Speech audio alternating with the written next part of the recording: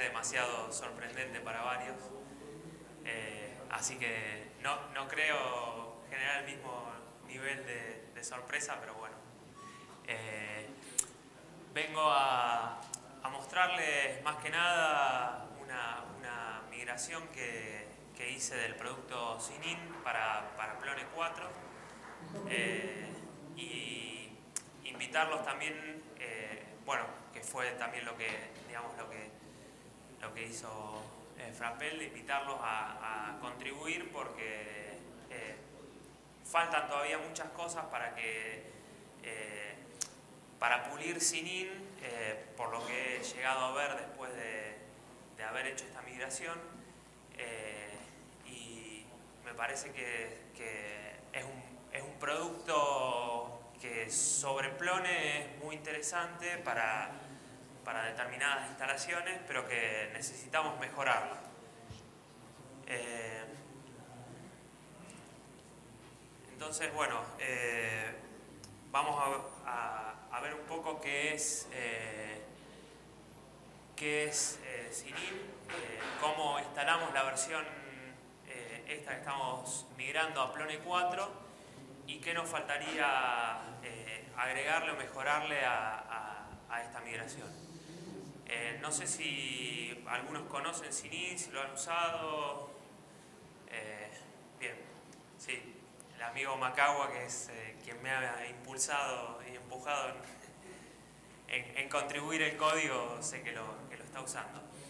yo principalmente inicié la migración porque quería armar un sitio que tuviera cierta funcionalidad de red social para un sitio que normalmente pertenece a, nuestra empresa y que a veces lo hemos usado para hacer pruebas de, diferentes tecnologías que hemos ido eh, incorporando, eh, porque es el, sitio que además corresponde a la, ciudad de donde yo provengo, Rosario, es el sitio rosario.com, y entonces ahí a veces volcamos un poco de, de innovación en lo que estamos haciendo. Decidimos convertirlo en una especie de red social y buscando y sin querer meterme en, otras eh, alternativas, eh, nos pareció que, que Sinin en Plone era un muy buen producto, pero yo no quería seguir atado a una solución de Plone 3, eh, que además tampoco sabemos exactamente si la empresa que lo desarrolló originalmente lo está siguiendo o no, entonces queríamos llevarlo a, a, Plone 4. Les voy a explicar ahora un poco cómo, cómo pueden ustedes bajarse también el, código de, de Sinin para Plone 4, eh, que está en el repositorio de, GitHub de, Collective, eh, para poder eh, probarlo y si pueden ir contribuyendo con, cambios. Y también vamos a ver funcionar Sinin en Plone 4. Bien. Acá una, pequeña introducción de lo que, se trata Sinin como, eh, como conjunto de, productos. Eh, lo primero que, se identifica es un producto de policy, que es el encargado de instalar todo el resto de los productos y hacer las configuraciones necesarias. Eh, un producto de, de, TEM que va a dar la, la, imagen característica que tiene Sinin nuevos content types porque el producto al ser un producto que permite colaboración tiene eh, espacios de colaboración, eh, tiene comentarios adentro de los espacios y tiene eh, bueno, contenidos que ya conocemos de Plone como archivos, pero también incorpora videos y todo ese tipo de, de, contenido se puede crear dentro de los espacios. Entonces ellos han definido su propio producto en donde están todos esos contenidos un producto que incorpora eh, unas herramientas con Flash para dibujar el, sitemap de, de, Plone, un sitemap que está muy cambiado, está hecho con Flash y eh, es como un poco más dinámico que el sitemap común. Eh, no sé en general si, si, es una buena idea haber metido Flash en el sitemap, pero eso es lo que era Sinin en versión E3, digamos. Podría después a lo mejor salir de, de, la comunidad o de los comentarios de, los usuarios si realmente conviene seguir manteniendo Flash para dibujar el, el sitemap del sitio. Eh, eso está definido en esos dos productos, UBify Freeman Flash y UBify Viewlets. Muchos Viewlets, el sitio está digamos, muy cambiado en cuanto al layout de un plone y, a la, y, a la, y aparte de la estética y funcionalidad, y eso tiene muchos Viewlets que están todos definidos en UBify Viewlets y algunas cosas más que tiene el, sitio como una papelera, cada vez que, usted, que alguien, un usuario borra contenido va a parar una papelera, no, no, no se borra eh, físicamente como, como clones. Y ellos además tienen un, producto de desktop eh, hecho en eh, Adobe Air. y entonces tienen comunicación por Firefox XMPP para para poder tener comunicación con Java eh, y XMLRPC para sostener este producto que está hecho con, con Adobe. Eh, eso sería básicamente los productos que componen Sinin, los productos que tuvimos que migrar de Plone 3 a Plone 4. Eh, y digamos, dentro de todos esos productos hay grandes ventajas. el hecho de están medianamente divididos en categorías, pero desde mi punto de vista, después de haberlo usado, hay ciertas cosas que no son reutilizables, digamos. O sea, hay muchas cosas metidas dentro de Viewlets que no lo podríamos reutilizar en un sitio plone eh, y que a lo mejor sería bueno después eh, empezar a separar un poco las cosas. Eh, y hay algunas prácticas de programación que han usado que no son de lo más elegantes, pero bueno, hay que reconocer que funciona y eso es, bastante para lo que es Sinin, digamos, es, un proyecto bastante ambicioso. Eh, bueno, los que, quieran, los que quieran probarlo simplemente tienen que, clonarse el, proyecto de, de, Hit. No sé si es la mejor manera de obtener un branch de Hit porque no, no uso mucho Hit. Eh, me costó inclusive, yo lo había hecho en un desarrollo propio usando Mercurial a la migración y cuando eh, Macagua me pasó el, sitio en GitHub, me costó, lo que más me costó fue hacer el merge para, para Git porque no usaba Git. O sea, eh, esa es la forma que conozco de que puedan hacer un, eh, checkout del branch de, Plone 4 de, de Si hay alguna mejor, son libres de usarla. Eh, yo ya lo tengo hecho en mi máquina, así que les voy a mostrar cómo, cómo podemos eh, correr el, el, el, build out. Es totalmente estándar lo lo, como lo hemos dejado. Yo para instalar Python 2.6 personalmente recomiendo usar el, el build out de Python. Eh, me parece que es la mejor manera de, abstraerse de dependencias que a veces el sistema operativo impone y que a veces traen problemas. Me han llegado algunos comentarios de gente que tiene problemas de dependencia, de tratar de correr el, eh, de correr el out y yo creo que muchas de esas cosas a veces dependen de la versión de Python que, el sistema operativo provee. Personalmente prefiero la, la, versión de, Python compilada.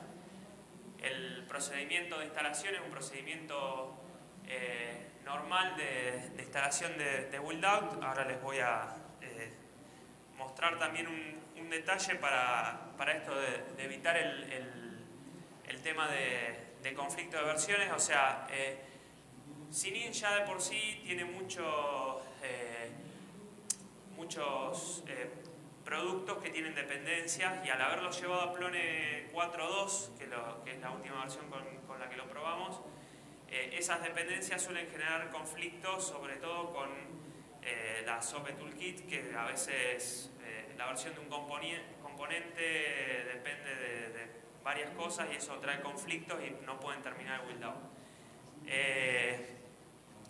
el out como está subido en el, sitio de GitHub es este. Yo lo que les voy a mostrar acá, yo comenté eh, toda la comunicación hacia, hacia Internet para simplificar un poco la, prueba de instalación y bajé todos los CFG de versiones al, al build out local, así yo lo puedo correr en, modo offline y no tengo, eh, muchos de estos problemas de, dependencias, digamos. entonces, para, para hacer eso, podemos ver que mi local CFG tiene todos los mismos CFG de, versiones que necesita eh, Sinin, nada más que bajados en forma local, eh, respetando el orden en el que están listados en, eh, en, los archivos originales, o sea, digamos, acá aparece el orden inverso, porque siempre va a prevalecer en versiones lo último que aparece en esta lista, entonces van, yo con con mi archivo de CFG puedo pisar versiones que de otra manera estaban conflictuando y generando, generando problemas.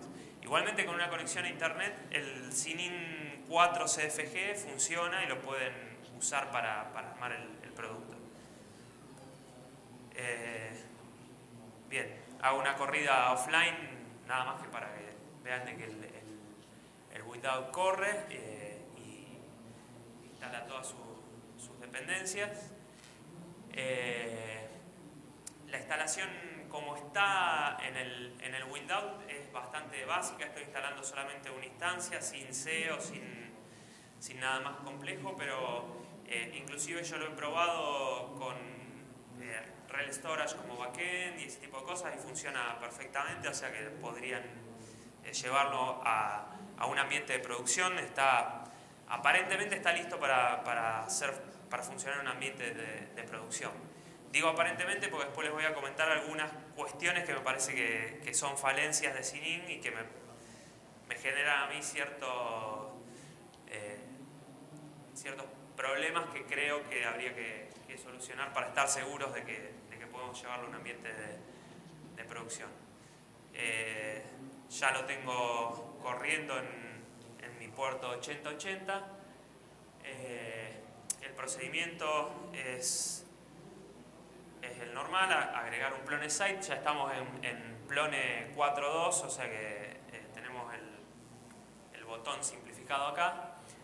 Un detalle, si lo van a, si lo van a probar, intentan eh, hacer la instalación desde acá con el producto de policy directamente aplicándole el policy al momento de la instalación, falla. Eh, creo que hay un bug adentro del producto de policy que no tuve tiempo de, investigarlo. Si lo hacen desde acá, la instalación falla. Es bastante sencillo aparentemente el, bug. Dice que no, que no se encuentra el, portal type block item.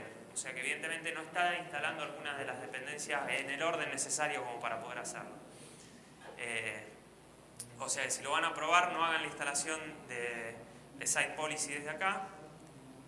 Es preferible crear el, el plone site.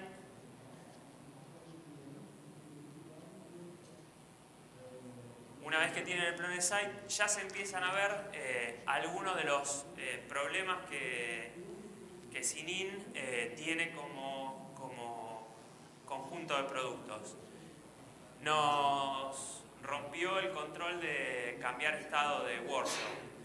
Eso es porque eh, gran parte de los viewlets que tiene, vistas que tienen y demás, no dependen de, eh, de layers de, productos. O sea que eh, son viewlets que son a lo mejor, que están pisando los viewlets estándar de Plone, a pesar de que el producto no haya sido instalado en Plone. entonces, eh, el haber puesto los ex de Sinin adentro de un build out hace de que ya el, un plone estándar ya esté roto, digamos. Eh, eso, desde mi punto de vista, es un problema porque uno no podría correr en la misma instancia un plone estándar y un Sinin. El plone estándar ya estaría roto. Son algunas de las tantas cosas que hay que solucionar en, en, nuestro eh, trabajo, digamos, como, como Sinin comunitario, digamos la empresa que hace Sinin eh, lo, tiene como un producto, digamos, o sea, no lo considera un conjunto de, extensiones de Plone, lo considera como un producto de caja cerrada. Eh, entonces ellos quizás no ven esto como, un error o como un problema, pero, pero sí lo es. Eh, bien, voy a volver a la ZMI, instalo el UEFI policy desde acá, site policy desde acá. Bueno, sería bueno después cambiarle el número de, versiones a, los productos. Ellos el, número de versión de Site Policy lo, lo, llevan sincronizado con la versión de Plone con la que están trabajando, pero bueno, es un detalle.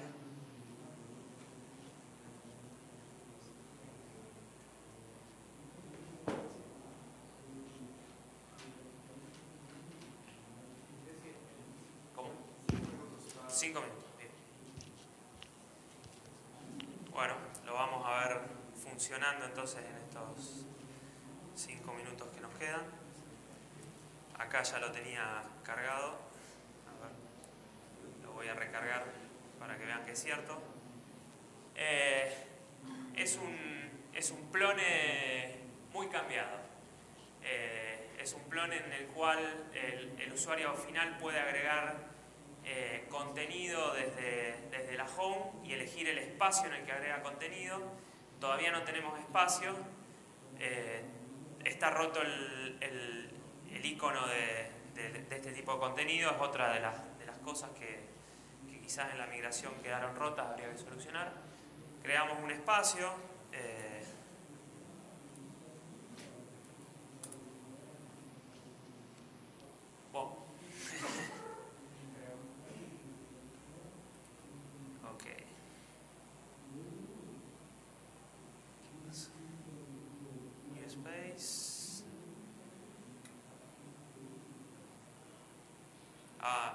debe ser mi, usuario creado acá.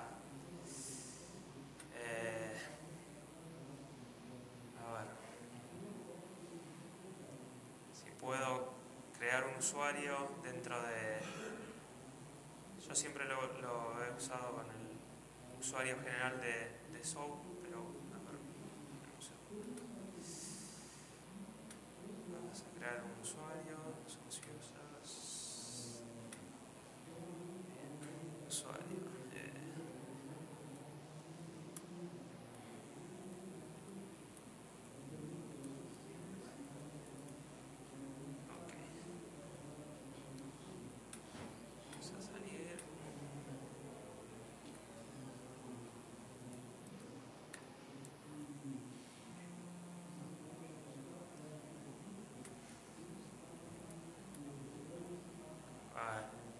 también un login form bastante diferente al login form estándar de, Plone, es lo que tiene Sinin.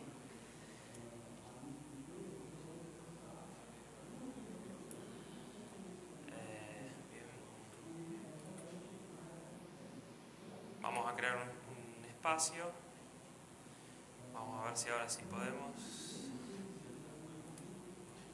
Ah.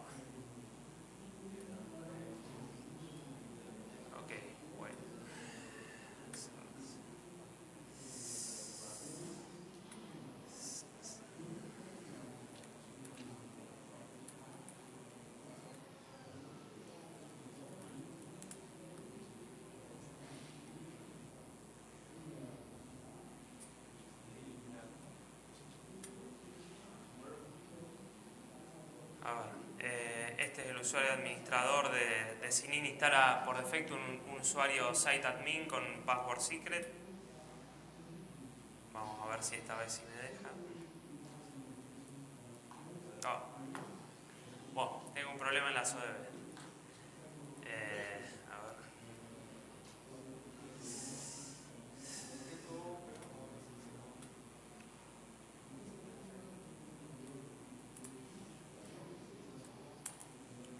Queda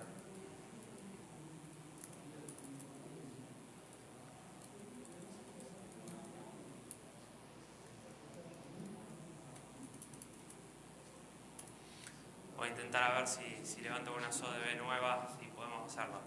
Eh, ¿Cómo? ¿Cómo se apagó SODB? Sin usuario. Sí, se, eh, apagué la instancia, borro la, la SODB y me la va a crear con el usuario que, está en la configuración de build out.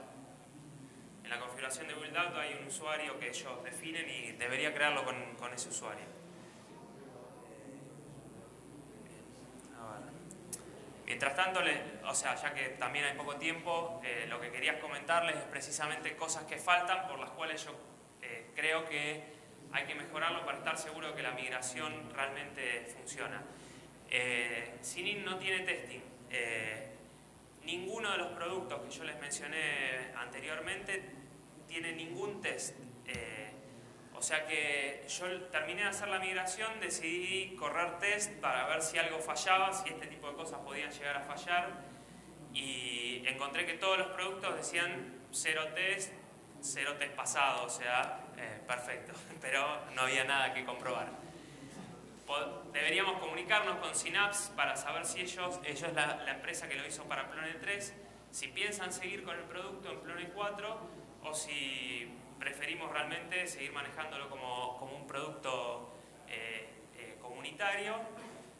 Y lo que creo también sería bastante importante es lograr una independencia de todos estos productos de tal manera de a lo mejor instalar cierta funcionalidad que estamos viendo en la interfase de, los, de, de los viewlets, de los tipos de, espacios, de comentarios que se pueden hacer sobre el contenido, pero sin eh, modificar toda la interfase de, un plone, o que el solo, o lo que mos- veíamos antes, que el solo hecho de ponerlo en plone nos, eh, nos rompa un plone estándar, digamos. Eh, bueno, eso sería para mí lo, lo más importante a mejorar.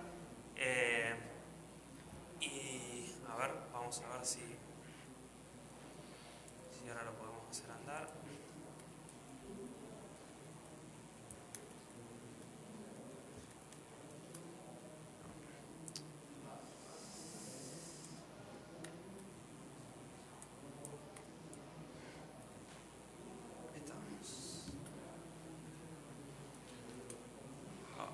Un usuario de emergencia. perdón.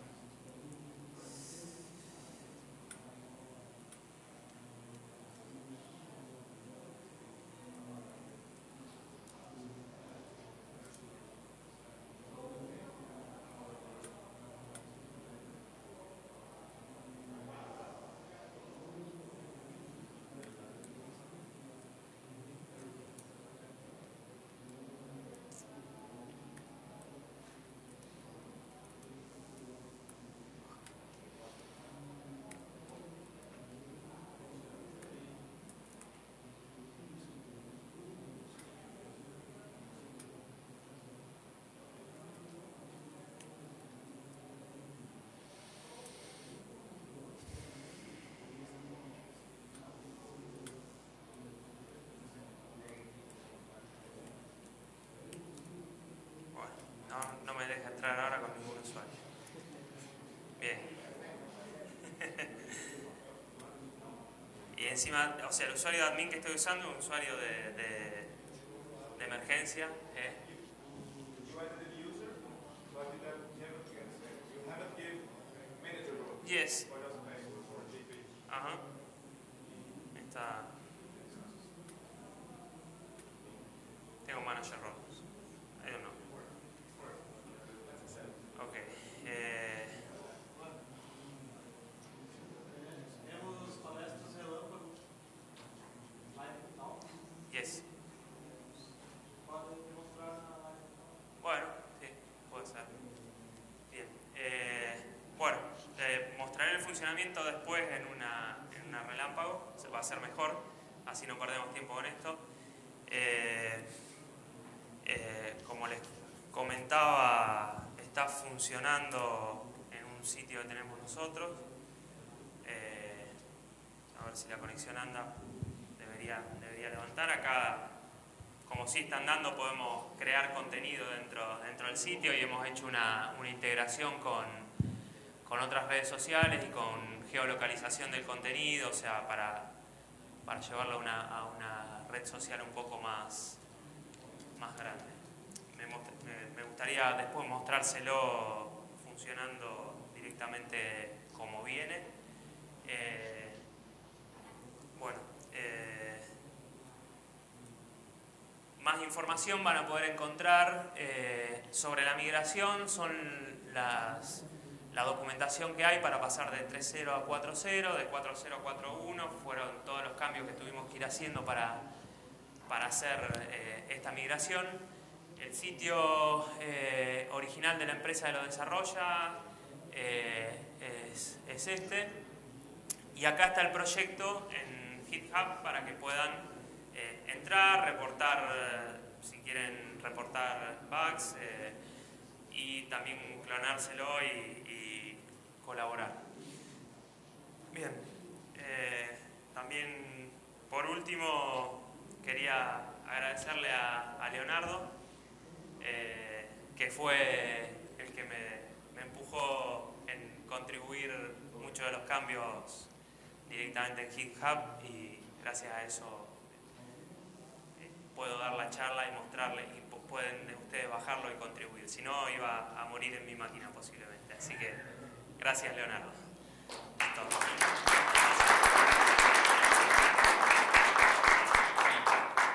Bien. ¿Alguna pregunta? Quería comentar algo con respecto al trabajo que estamos haciendo allí. Hemos tenido problemas de comunicación con la gente, con la empresa que está trabajando esto, incluso dentro del portal de CineSpace, ellos tienen el portal comunitario, la herramienta montada entonces, al ver que no ha habido una comunicación muy fluida, decidimos forquear la herramienta, el proyecto y lo montamos en GitHub por eso mismo. En la actualidad, bueno, él hizo el aporte principal de la migración a Clone 4. Ya yo la tenía pensada y cuando comentó él que la tenía casi terminada, yo le dije, bueno, en cuanto puedas la publicas. Ya hay un brasilero que está trabajando en la corrección de unos bugs de, que tiene este producto. Hay dos alemanes que, están, que me escribieron esta semana este, que están revisando ya el producto porque hay varias implementaciones de este producto, sobre todo me he dado cuenta que en Europa, Colombia, bueno, aquí en Argentina, en Venezuela ya llevamos dos implementaciones de esta plataforma. Y mm, sobre todo el interés de publicarlo es por, incluso cuando lo publico, lo publico es para que sea el trabajo comunitario entre nosotros. Eh, eh, tenía muchos problemas, no solo cosas como la que él estaba explicando de programación, sino también de la usabilidad en la interfaz gráfica. Entonces, bueno, lo que les quiero decir con esto es que se ha ido mejorando la herramienta en ese espacio de GitHub eh, para que ustedes puedan forquearla, clonearla y empezar a trabajar con las mejoras y simplemente nos ponemos en contacto por IRC o por correo y no hay problema lo que quiero decir con esto es que la intención de mejorar la herramienta porque tiene mucha usabilidad, es un producto que en las experiencias personales en Venezuela mostrando esta herramienta ha gustado a muchas personas. Pero entonces tenemos que irla mejorando poco a poco. Entonces los invito a participar. Nuevamente, como dijo él, son bienvenidos a que nos ayuden a mejorar la herramienta para que sea soportada inicialmente por nosotros.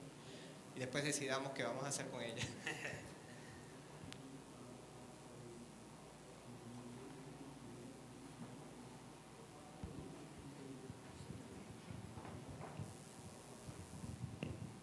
¿Puede hablar un poco sobre la cuestión de la GPL3 y 2, CININ?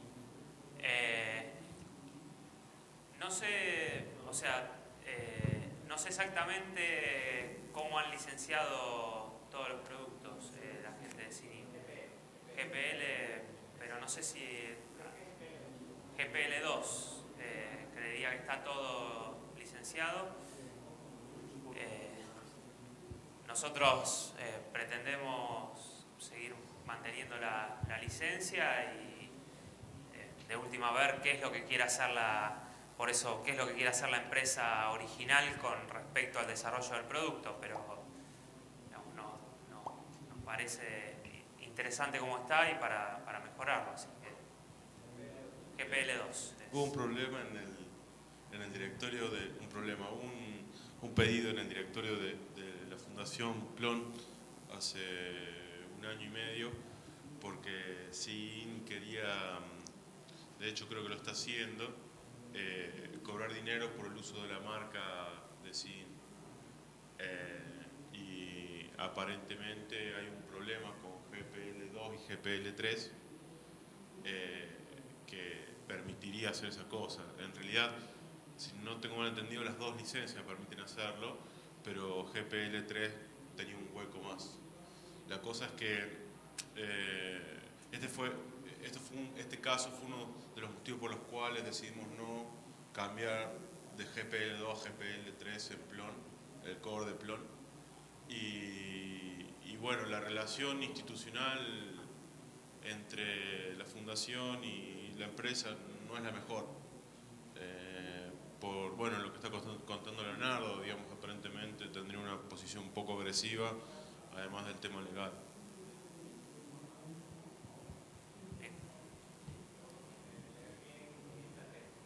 Bien. Eh, Leonardo me aclara que él acaba de leer y es la GPL3, la que